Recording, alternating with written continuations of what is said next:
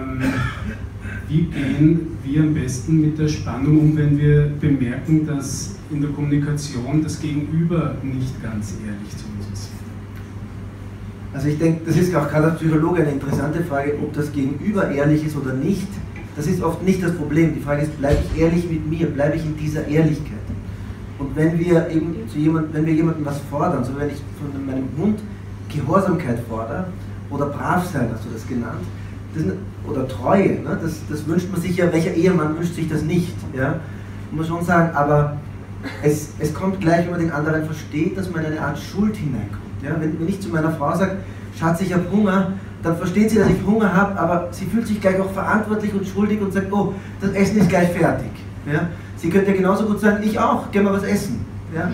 Und das muss man lernen, dass man schaut, bis wohin geht denn diese Verantwortung auch und wo, wo, muss, wo müssen wir lernen, die Verantwortung auch abzugeben und sie nicht, nicht in Schuld umzuwandeln. Ja?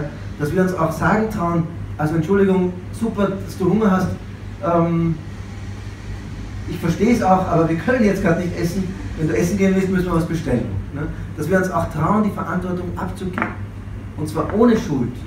Deswegen, ob der andere mir was vorschwindelt oder nicht, der andere, ich muss ja auch bei, bei, bei Patienten, ich muss ja auch achten, selbst wenn mir die Geschichten von Star Wars erzählen, muss ich die ernst nehmen. Das kann ich nicht, das kann ich nicht beurteilen. Ich kann auch jemanden nicht verurteilen, ob der mir was vorschwindelt. Aber ich muss mit mir im Reinen bleiben, dass ich sage, okay, das glaube ich jetzt aber nicht ne, zum Beispiel. Oder dass ich sage, ah, das ist mir jetzt aber relativ egal. Ne, das muss ich, ich muss mir treu bleiben. Okay, soll man, also man soll sich treu bleiben, vielleicht nicht nachgeben, wenn jetzt ähm, der eine Partner essen gehen will und der andere vor dem Fernseher bleiben, sollen die dann getrennt was unternehmen an dem Abend? Naja, es kommt ganz drauf an, aber für gewöhnlich erklären wir einander auch immer das Gefühl. Ne? Und wenn einer vom Fernseher sitzt und der andere möchte weggehen, dann wirft der dem anderen gleich vor und sagt, du liebst mich ja gar nicht mehr, du bist ja eigentlich, hast ja gar kein Interesse mehr an mir. Ne? Und diese Art von Gefühlserklärungen sind wie eine emotionale Erpressung. Und darum geht es eigentlich nicht. Wenn, der, wenn die Ehe gut funktioniert, wenn einer vom Fernseher liegt und der, der andere geht gerne allein ins Kino, wir haben die Freiheit. Warum sollen wir uns die gegenseitig nehmen? Ja? Aber wir, wir beginnen uns eigentlich gar nicht mehr für voll zu nehmen, sondern wir, wir sagen dem anderen, also das, was du mir da zeigst, ist ja eine Frechheit.